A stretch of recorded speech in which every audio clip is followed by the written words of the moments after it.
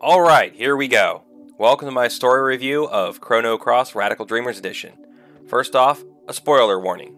This review will discuss major plot points, so if you're like me and this remaster is your first time playing through Chrono Cross, you've been warned.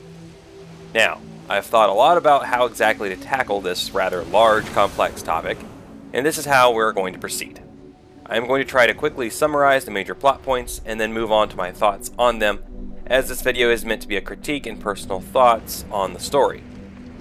Also, I will assume that you are at least familiar with the major events of Chrono Trigger, as events of Chrono Cross can't be discussed without discussing these preceding events from the first game. So let's get started. The story in Chrono Cross really focuses on consequences. The consequences of the manipulation of time for one's own benefit and the consequences of using an unnatural and dangerous power to do so. We could say that the story really begins in 65 million BC when Lavos falls to the Earth and changes the course of the planet's history. The dominant species, the Reptites, are wiped out, and the humans fill the void left by the Reptites. During one of the lore dumps in the late game, it is suggested that humans were corrupted by Lavos and would henceforth be considered parasites to the planet, just like Lavos itself. But to me, I would say that the story really begins in 12,000 BC, with humans trying to harness a power they did not understand. You see, the events of 65 million BC could not be avoided. They were meant to occur, naturally. Lavos was a parasitic extraterrestrial lifeform, just following its instincts. Nothing in the story of Chrono Trigger or Chrono Cross that I've seen indicates Lavos chose to come to Earth, it just did. Earth happened to be on its path that it was traveling. Following this logic, we come to the humans of Zeal, and specifically the Queen of Zeal, being the reason for all the ills of the Chrono world, besides the actual awakening of Lavos in 1999. You see, it was her attempt to harness Lavos' power that destroyed Zeal, that sent Janus, aka Magus, to the Middle Ages to start a war between the mystics and the humans that trapped Schala in the darkness beyond time with Lavos, and that would charge Schala's pendant with Lavos' energy and thus cause the accident with Luca's transporter that would send Crono and his friends on their journey across time in Chrono Trigger. In Chrono Cross, during this event in 12,000 BC, Lavos would draw Chronopolis and the sentient computer Fate 10,000 years into the past, from 2400 AD to roughly 7600 BC, and the planet would draw an alternate world Dinopolis into the Prime World as a counterbalance to Chronopolis. A war would then ensue between Chronopolis and Dinopolis, which Chronopolis would eventually win thanks to fate and the Frozen Flame. The dragon god of Dinopolis would be split and sealed away. All of this because one human wanted more power. These events now set up the world of Chrono Cross, which takes place on an archipelago, which we can assume never existed during Chrono Trigger, yet it did, but it also didn't. This is where all the time travel and dimension hopping starts to make things weird. According to the story in Chrono Cross, Chronopolis would engage in a time experiment in 2400 AD using the Frozen Flame, which is a piece of Lavos that broke off and survived its encounter with Crono in 1999. Again, a turn of events made possible by the Queen of Zeal long ago. Chronopolis itself only exists because Crono and friends defeat Lavos in 1999, preventing the apocalypse. But this experiment goes terribly wrong, leading to the time crash. It is during this time that Lavos in 12,000 BC, when he is wakened by the Queen of Zeal, sees the future in which it is destroyed and reaches through time to pull Chronopolis and the Frozen Flame back in time to essentially provide itself with a second chance. Also at this time, Schala somehow clones herself while being taken by Lavos in 12,000 BC and drops her baby clone in 1000 AD, where she is found and raised by Luca. This baby clone of Schala would be named Kid. Now we come to the next piece of this puzzle, Balthazar. Balthazar, the guru of reason from the kingdom of Zeal, was sent to the year 2300 AD by Lavos during the events of 12,000 BC, In the original Apocalypse timeline, he was sent to a desolate and dying future where he built his first time machine, the Epoch. However, in the new timeline created by Crono's victory over Lavos in 1999, Balthazar arrives in an advanced, thriving civilization where he begins researching time travel and builds Chronopolis. He and the researchers use an advanced AI called Fate to assist in the research and control the frozen flame.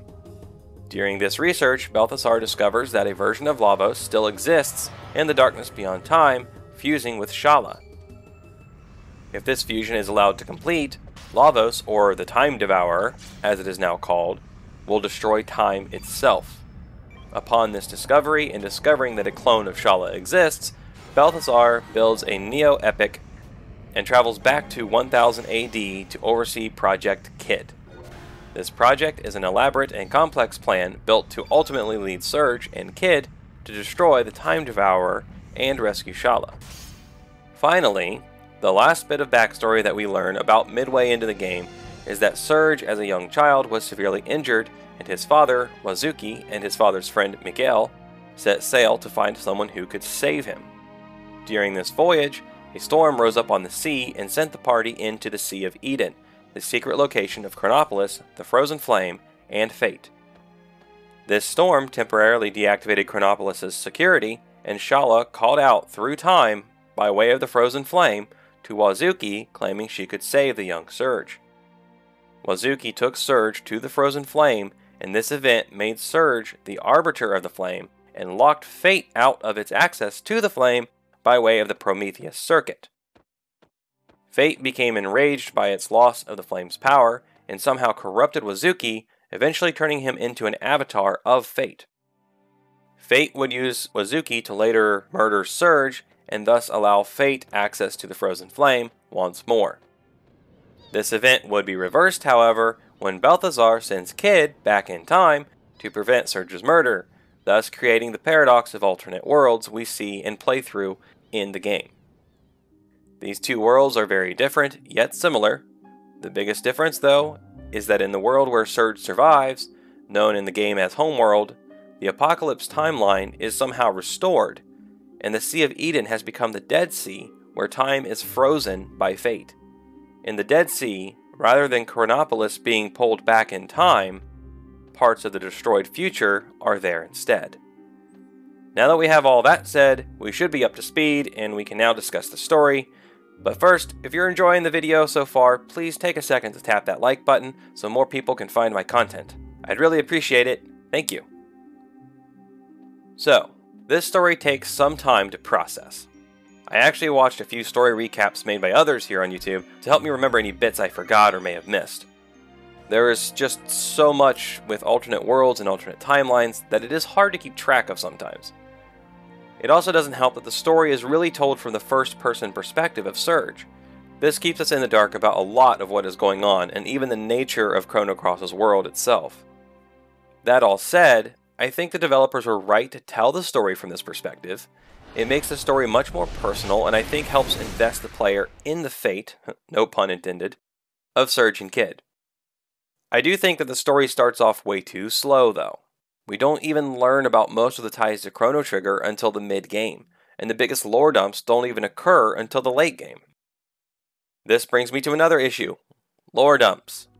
It is almost like the story writers realized at the end of the game that they had given up too little story to this point and had to jam it all in at the last minute. I mean, you don't really even know what the ultimate goal of the game is until Balthazar magically shows up after the fight with the Time Devourer's avatar who looks like the Dragon God because Lavos already absorbed it. I still don't quite get that one. The point is, we don't really know any background until the last few hours of the game. I think the story could have been better with more, much smaller bits of information dished out throughout the game. Now, while I might have criticism for how the story was told, the story itself was amazing. The way everything begins to intertwine with the events of Chrono Trigger in the mid game had me excited to see how it would all come together in the end. I think that once you have some time to process the story, most of it will make perfect sense, at least as much as a story based on screwing up time and alternate realities can make sense. But I also like the moral the writers put behind the story. As I mentioned in the beginning of this video, The human lust for power is what ultimately leads to all the terrible events of history in the Chrono world. And even the seemingly heroic and pure act of trying to save the future by use of a power little understood eventually leads to a worse future where time itself is eliminated. Ultimately, a turn from violence to harmony with each other and the world itself by use of the Chrono Cross is what leads to a peaceful and happy ending. Chrono Cross's story is truly unique and deep, and while it may be slow to get going, when it does finally bring all of its parts together, it brings us a truly epic tale that transcends time and space. If you made it this far, thank you for watching my story review of Chrono Cross Radical Dreamers Edition. If you'd like to see my gameplay review, tap this video here. Thanks for watching, and keep on gaming.